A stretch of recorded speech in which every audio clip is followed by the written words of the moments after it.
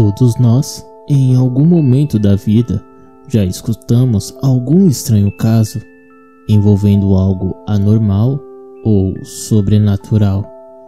E com esse estado não podia ser diferente. Então, hoje vamos com as lendas urbanas do Piauí.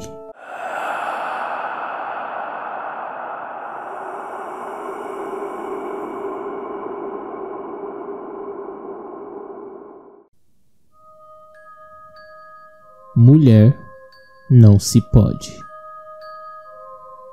Contam que desde o ano de 1845, pelas ruas da capital, aparecia uma mulher muito alta e muito magra, trajando um vestido branco que, de tão comprido, varria o chão por onde passava.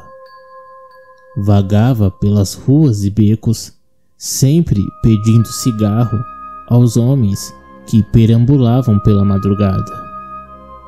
A passos lentos, transitava pelo trecho que ia do alto da moderação até a Praça Saraiva. Naqueles tempos, não haviam ainda em Teresina lâmpadas alimentadas pela energia elétrica. Sendo assim, a iluminação das principais ruas era feita por postes com lampiões a gás, enquanto o restante da cidade ficava completamente às escuras. E ela, sempre que via algum desavisado se aproximando, parava próximo a um desses postes. O homem, atraído por sua beleza, se aproximava estranhando por motivos óbvios o fato de uma moça estar sozinha naquela hora da madrugada. Ele questionava, perguntava o seu nome, o que ela estava fazendo ali aquela hora da noite, ou mesmo se poderia acompanhá-la até sua casa. Mas a resposta dela era sempre a mesma: Não se pode. Tudo que lhe era perguntado tinha sempre essa mesma resposta: Não se pode. Isso até que ela lhe pedisse um cigarro. Assim que o sujeito lhe entregava, ela vagarosamente ia aumentando de tamanho, crescendo, até alcançar a chama que brilhava no alto do poste, e ali acendia o cigarro recebido. O homem, sem acreditar no que seus olhos tinham visto, saía correndo apavorado, enquanto a misteriosa criatura se punha a gargalhar e a gritar repetidas vezes: Não se pode, não se pode, não se pode. Numa voz que ecoava pela escuridão, como que um assustador deboche. Ninguém sabe de onde vinha, para onde ia, nem o seu nome real. Ninguém sabe por que assombrava a região, nem de onde se originou a lenda, pois qualquer pergunta à moça misteriosa, a tudo ela respondia: não se pode. Por anos, os moradores que se atreviam a estar tarde da noite no centro de Teresina, temiam dar de cara com a misteriosa assombração. A besta fera. Em Amarante, conta-se uma lenda de uma criatura assustadora que apavorou durante anos a pequena cidade. Eles a chamam de a besta fera.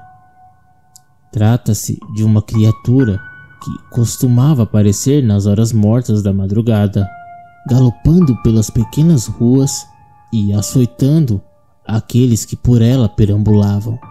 A descrição sobre sua aparência varia. Algumas pessoas lhe colocam como uma espécie de centauro com chifres, ou seja, da cintura para baixo corpo de cavalo, e da cintura para cima, corpo de homem. Em outras versões, o descrevem como uma mistura de mula com um lobisomem. Em ambos os casos, possui olhos vermelhos como sangue, sendo para muitos o próprio diabo encarnado que sai direto das profundezas do inferno para galopar por todas as ruas, só parando e desaparecendo quando entrasse no cemitério. Tanto que passava a léguas do que era bendito. Só símbolos e uma fé enorme pareciam afugentar a criatura.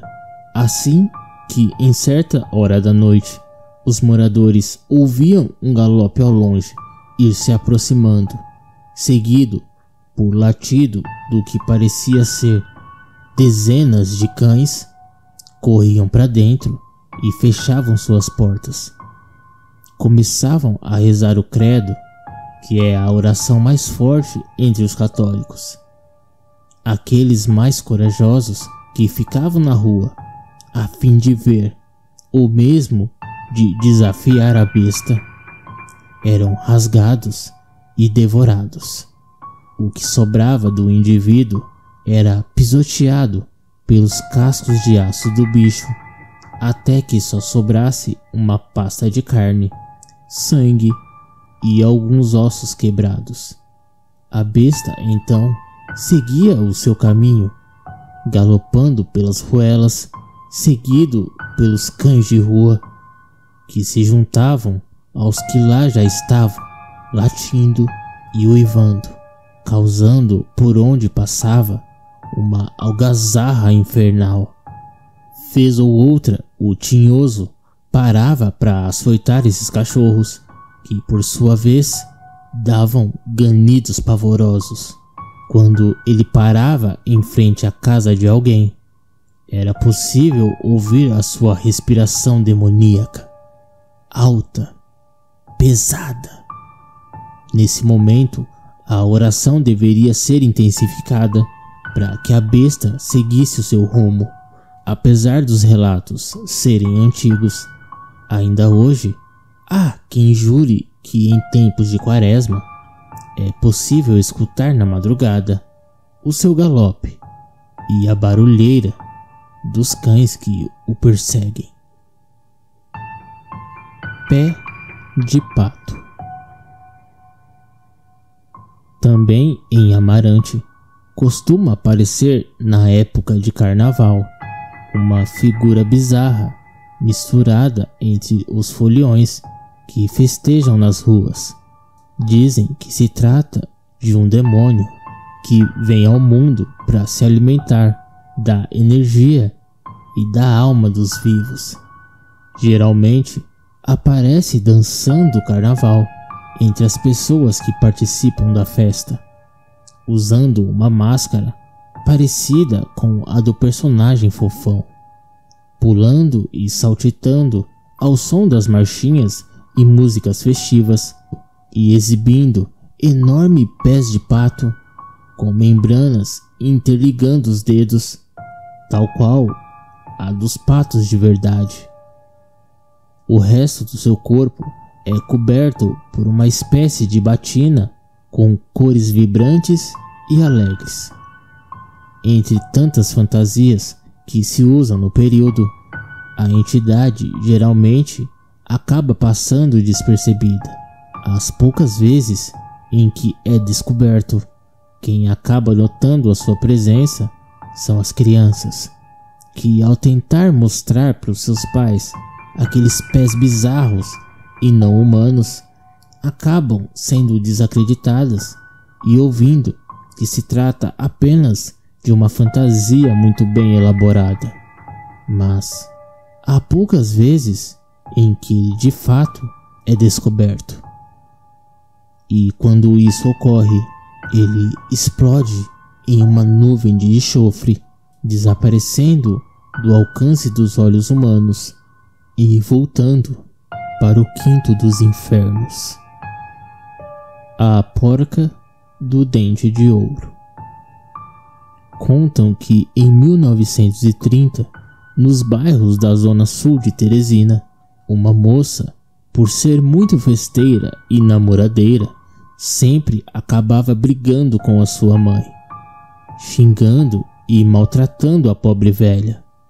Até que, em um certo dia, em meio à discussão, a moça deu uma dentada no rosto da mãe. Uma mordida tão forte que arrancou um tampo da cara da pobre velha. Por maldição ou por castigo divino, a moça, depois desse dia, se trancou no quarto e nunca mais colocou a cara na rua. A única que havia era a sua mãe, que, mesmo com o rosto ferido, lhe levava comida durante o dia.